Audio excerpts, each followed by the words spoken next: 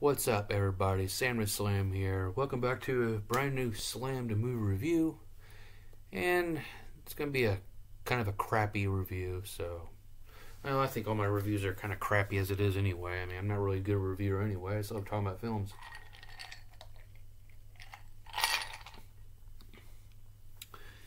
And I've been, uh, personally, been going, uh, going for a lot of depression and yada yada, and there's a lot of shit going on, and I can't stand it. But we are here for the 1976 Gator.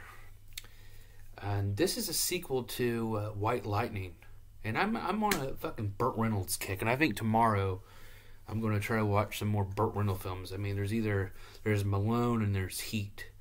There's some there's a two films I really want to look forward to see. But Gator, I mean, I've watched before. Um, didn't really, I, I saw it and then I only saw 30 minutes of it, and I, I just didn't get really into it. I was really doing some other shit, or I just was distracted. But I uh, yesterday ended up watching it, and I tell you what, a damn good watch, a damn good watch indeed, and definitely better than. I mean, I liked White Lightning, but this right here was a lot more better, in my opinion.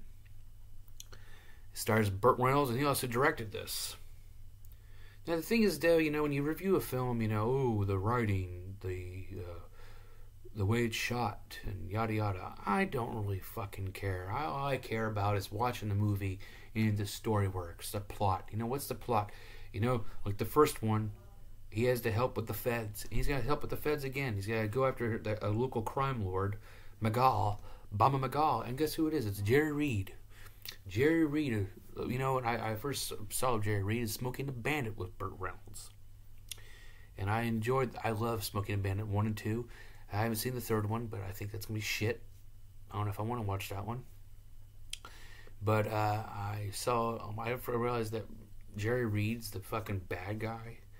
It's like, wow, okay. Is he still alive? I think he's still living. No, he died in 2008. But, um, no, um, so basically, Gator is he's back. He's he's just got out of prison, and then he's back on the swamp with his dad and his daughter. And the feds of Irving Greenfield, who's just a fat, like detective, whatever, from the Department of Justice or whatever the fuck it is. I don't know, but he there you gotta basically let's see here.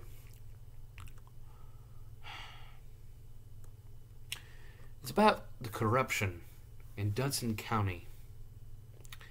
And they have a local boss Bon McCall who is played by Jerry Reed. Now um, Irving wants to get a federal agent he wants Gator and it's funny how it is. I mean, they try to get him, and then they have this little chase scene, and you have to, but then they threaten to put his dad in prison or jail and put his daughter in foster care. So he decides to go, and so okay. And Bon McCall is basically a guy that he went through. Maybe they went, and, maybe they went to jail together, yada yada, did some things, and he knows that he's gonna, he knows him supposedly. So basically, that's all it is. That's the plot right there. Him going after Bon McCall and then he meets up with um, Lauren Hutton. Damn, she's in her 78 years Well, She's older now, but damn, she still looks like her old. I don't know. She's pretty fucking hot, but she played um, this this fucking damn interviewer, and that's how Burt Reynolds gets up with her and stuff. Yeah, was you know, that's how they go against the corruption. They, they go after McCall. And then the thing is, though, that Burt Reynolds, Gator, he ends up uh, teaming up with them. What the fuck is that? Oh, Zachary. But uh, yeah, he ends up working with them, but he, like the job. It's it's yeah because it's something to see. You know, a spoiler. Sorry, I don't give a fuck. I don't care. I mean, it's a good action flick. They call it an action comedy film. I mean, I thought it was more action than comedy, but I don't know. The fucking weird thing is Burt Reynolds laugh. the way he laughs and it's fucking weird. But no, but he, he works Bob McGaw. He's supposed to, to collect money. He's a gangster, yada yada. He's an asshole too. And he has this fucking buddy. His this he's got this guy named Bones. Who let me see who it is. I want to see this guy. Cast Bones. William Engesser played Bones. And he I mean, they have a car, and his face, his head's in like in the sun, the sunroof. This big motherfucker's like a, he's like a Jaws ripoff. He's more like a Richard Cagle, or whatever his name is. He played Jaws like a ripoff character, and he has Smiley's played by Burton Gilliam, which is one of his little right hand men who plays a, he's some gay guy on here. I don't know, he he's on um, he's one of the deputies, one of the on Bla- the racist Blazing Saddles. He's one of the racist people. He's in there too, but he's um I mean, Burt Reynolds works for him, but then he realizes that Jerry McCall is not only a fucking local crime lord, but he's also a fucking pervert pimp. And he drugs and like supposedly he is a house because there's a scene, there's a scene with him going into these like this boarding this house with the, with a bunch of females, and then you find out. I mean, you look at this, and this is the movie in the '70s. And you look at them like, oh, they must be in their 20s and stuff. Man, this and then he had a like he wanted to go see him, and he wanted to be out of the game. A, a, a Gator wanted to be out of the game. He didn't not want to do anything anymore. He wanted to get out of uh, Bama's shit because this motherfucker was in a room fucking a 15 year old. This girl was all fucked up on all these drugs and shit, and fucking Gator's not. He didn't no fear. He tells Bama like, like, good God, you know, and just. I mean, it's just, it's just like, and like, oh, he's like, oh, he needs some time. She'll give you, she'll give you a good hell of a time. It's just like, man, it's like, fuck, that's fucking sick. I mean, you fucking pedophile motherfucker. It's like man, that's just it's just fucking sick. I mean, I mean, it's just I don't know. I mean, seeing the fucking like like on on fucking prime cut with Sissy Spacek, naked, they're selling women like they're fucking cattle, like naked and all that shit. I mean, it's just it was like it's pretty cool because Burt Reynolds is like he goes up to her and he just knocks the drugs out of her hand, asking how old she is and shit, and fifteen, and and it says all the girls at the house that that that was at they're all under fifteen years old under 16 and it's like it's fucking it's just fucking sick. It's just sick fucking sick in general but then again like i mean throughout the film it's great and all. You you, fucking feel bad for irving greenfield because he gets jumped by bones and smiley. Um man motherfucker he gets i mean it's not really bloody and shit but hell he fucking gets killed in the end.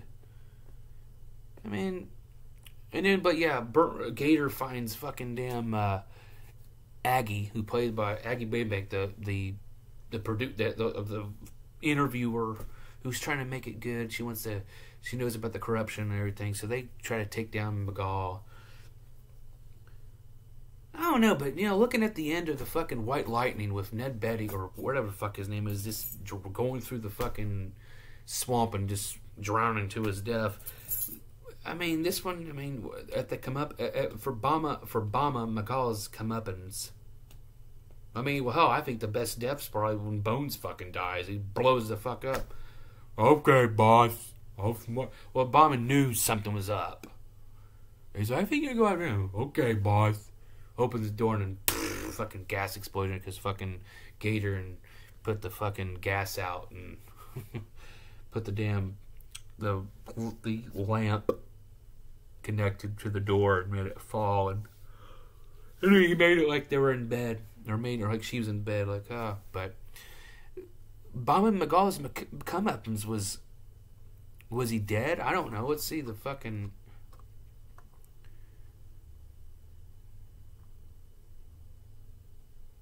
Yeah, he just.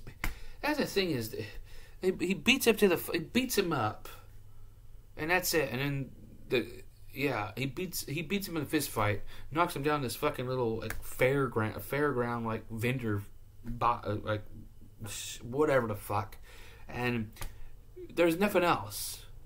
Like, so really, in the end, the comeuppance is fucking. Yeah, the comeuppance was. I mean, I don't know. I mean, I mean, it was great, but then, then again, these the white, just like White Lightning and this, the Indians were shit. I mean, for the main villain. I mean, Bones, he's the the big bodyguard. He's like, it was like the best death. I mean, but you you think Bob McGaw will be dead? No, he we don't even know what the he just got prison. He got prison raped. Maybe so. And then at the very end, because Aggie and him had this little romantic thing, and he fucking like late early in the film, like before the film's almost over, he like wooed her, and she fucking took her top off, and yada yada, and we didn't get to see those titties, but she on the end she realizes that. Um, oh, I'm gonna go national to New York City, and then Gator says he loves her, but they have no future together because she wants to go to New York. He doesn't want to go to New York, so he just goes home. So that's it. I mean, th- there you go. Good action. The comedy, I don't really. Oh yeah, I forgot about the scene where Obama, where where he wants to leave, and they drug the where Gator wants to get out of the game with Obama, and they fucking drug him, and he has the. I'm a pass out. I'm a pass out. You know, I it's just his fucking. It was. I don't know. It was a good. Here's the thing: is that it was a good film. It was. I, liked it better than White Lightning, but like I said, the comeuppance is very fucking weak and flat. Oh, he beats him up. And there's a helicopter. We don't know what the fuck happened to him. Like I said, he probably got prison rape because they fucking probably knew. They, he just said, this guy's fucking little girls. He needs to get his ass fucking raped. So rape his ass. And that's that's just what it is. But that's Gator. I like the film. It was alright. Give thumbs up. But at the same fucking time, it's just. I mean, it's a good film, but uh, it's not rewatchable. No, I mean, I, it just there's nothing memorable. I mean, nothing memorable. To, there's nothing to rewatch about. Maybe if Bobby McGaw had a good fucking comeuppance, comeuppance, getting his ass fucking killed, or something brutal and shit. But now, now this is one and done for me. But like I said, it's still a good movie in the end. But weak ass comeuppance and this is I don't think there's any more after this, but I'm I'm on a Burt Reynolds kick, or I might watch a horror film. I don't know. So uh, I mean, I'm I'm trying to watch some horror movies back again, or some action films. Like I said, I'm gonna try to check out some more Burt Reynolds films because I just maybe maybe there's a good I mean a, a better film out there because this one's okay. It's all great indeed. It's nice. It's good, but both of these films are not rewatchable. White Lightning definitely not rewatchable that was boring as fuck, and it was good, but there's just it just needed more. This one was good, but it was just fucking weak at the ending. Oh, let's kill fucking uh, one of the heroes, like one or one of the or Irving Greenfield. He get a fucking fucking twelve gauge, but no. So I don't know. That's just my point. That's just my thought of it. It's a good film indeed, yada yada, but I, it's not rewatchable for me. So definitely check out 1976's Gator. It's pretty good not rewatchable. So it's a shitty review. I don't know. I don't care. I don't give a shit. I love talking about films. So if you but if you like watching my review and critique and just talk about the films and yada yada, uh, subscribe. I do a bunch of these movie reviews. I do vlogs.